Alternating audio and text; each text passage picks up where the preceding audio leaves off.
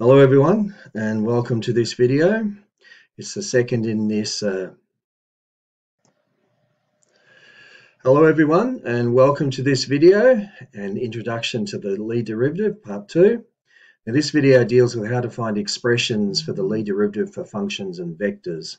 In particular it'll look at um, how we can arrive at the forms of the Lie derivative of a smooth function f with respect to the vector field x and the Lie derivative of some vector y with respect to some vector x. Right, that's the purpose. That's what we're having a look at. Let's make a start then and uh, put that up there.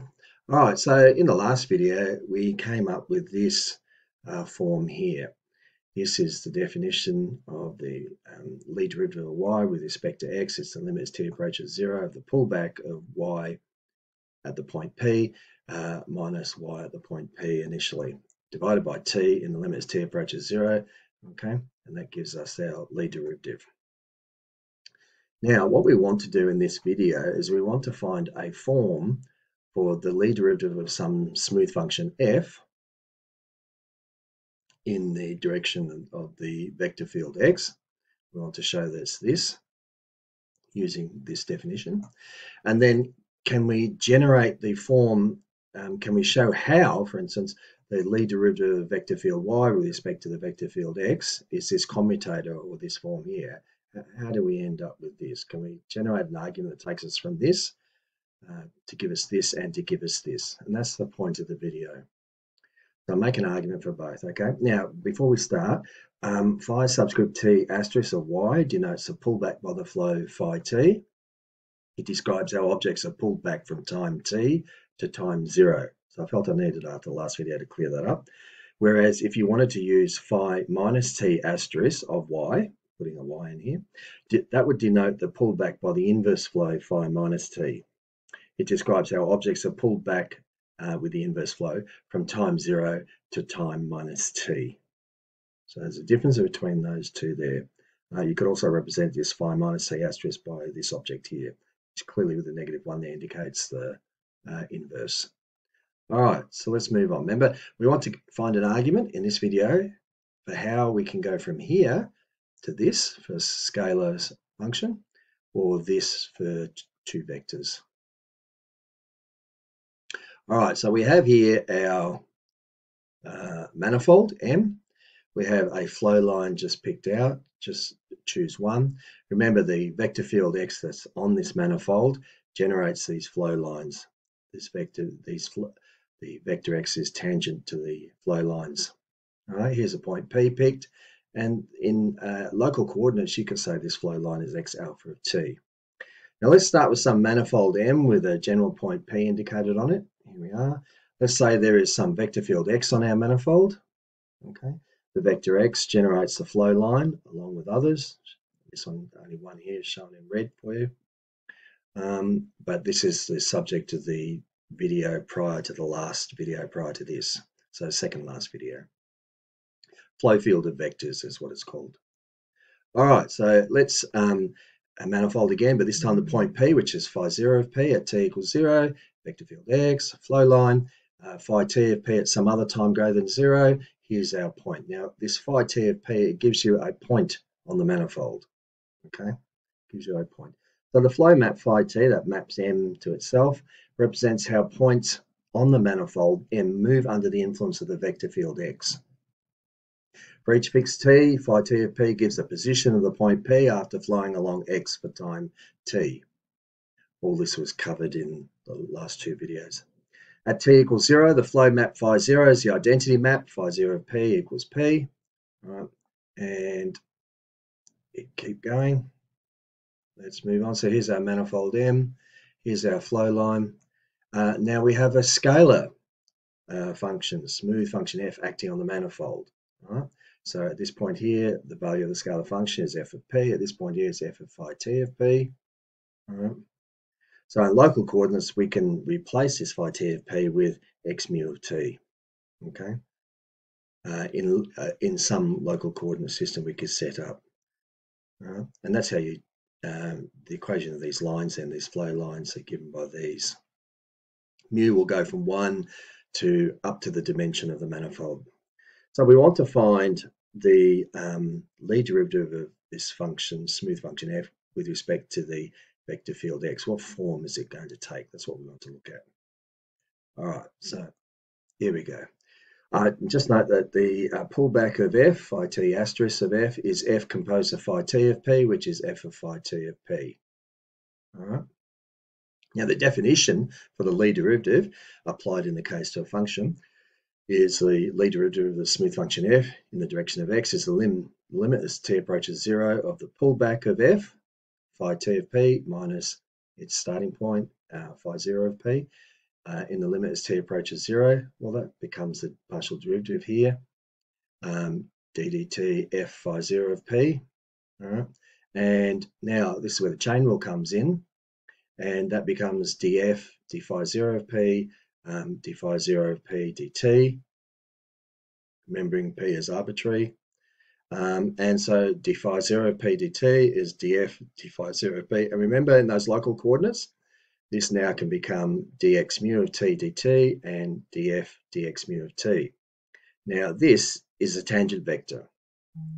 That, that is the uh, components of the vector tangent to the flow line. So we'll call that x because that's the vector field x that is acting on the manifold.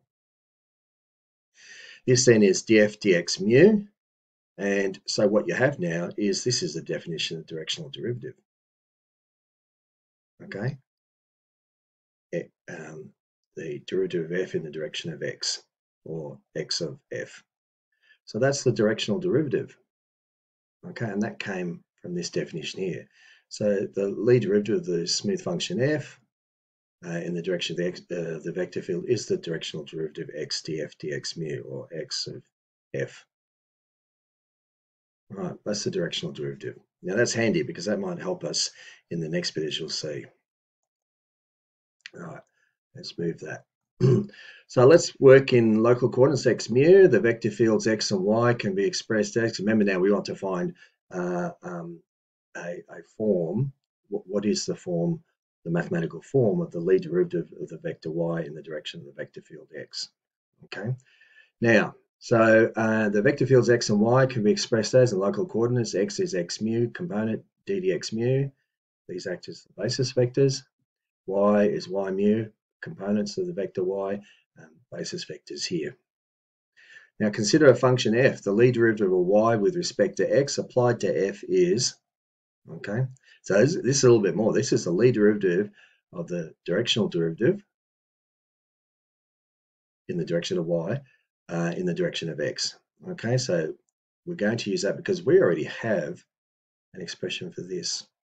Anyway, you'll see as the argument develops, um, how we're going to end up with finding the Lie derivative of y with respect to x without this uh, function f acting.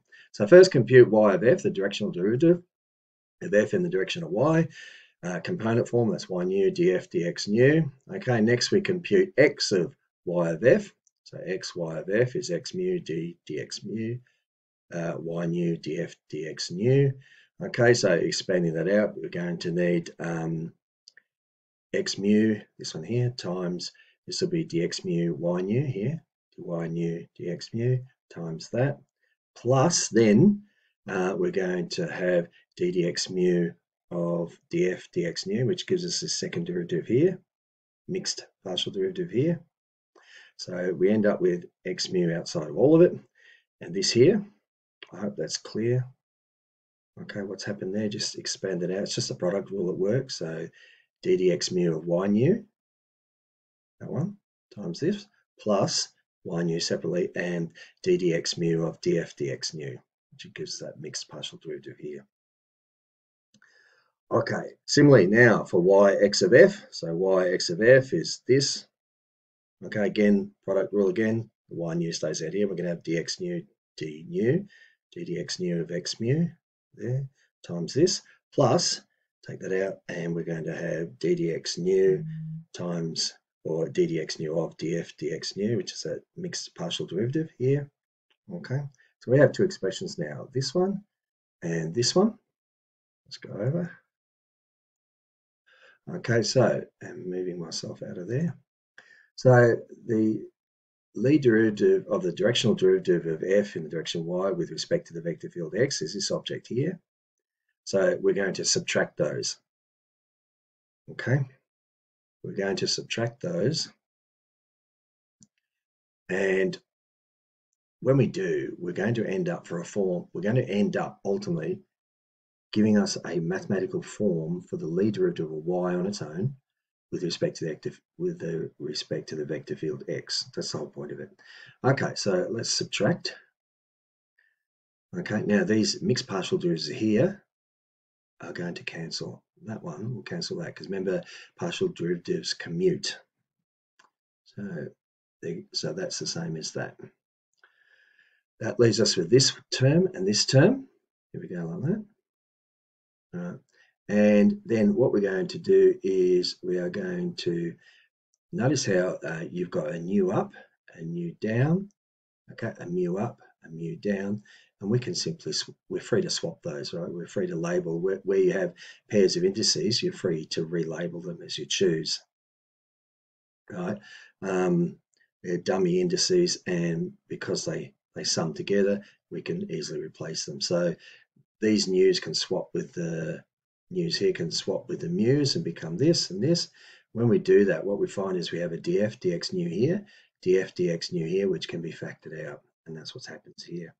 So we're left with x mu dy nu dx mu minus y mu dx nu dx mu in parentheses times this factor here, which is really just the scalar or inner product of x with y, the vectors x and y, minus the inner product or scalar product of the vector y with the vector x, and then f out front. So what we're left with now is we've got the Lie derivative of the uh, directional derivative of, y, of f with respect to y in the direction of y in respect of the direction of x. Right, gives us this commutator here of f, which is interesting. So just repeating the last line again, we have this but that just implies that the Lie derivative of the vector field y, or the vector y, with respect to the vector x is just the commutator. So the Lie derivative of y in the direction of x is just a commutator, this object here. Okay, so we've got the Lie derivative of a smooth function f in the direction of x. It's just the directional derivative uh, of the function in the x direction and for the Lie derivative of a vector such as y with respect to some other vector such as x, which just the commutator of the two. Okay, so introducing the function f when explaining the Lie derivative helps to ground the abstract definition in concrete calculations and to generate an argument that leads to this. So it makes a concept more accessible and provides a clear illustration of the non-commutativity of vector fields, which is essential to understand the Lie derivative and Lie brackets. There we go. That's what we set out to achieve. And that's what we've got. Thank you for watching. I hope you find this video uh, useful and interesting. And um, I'll see you in the next video.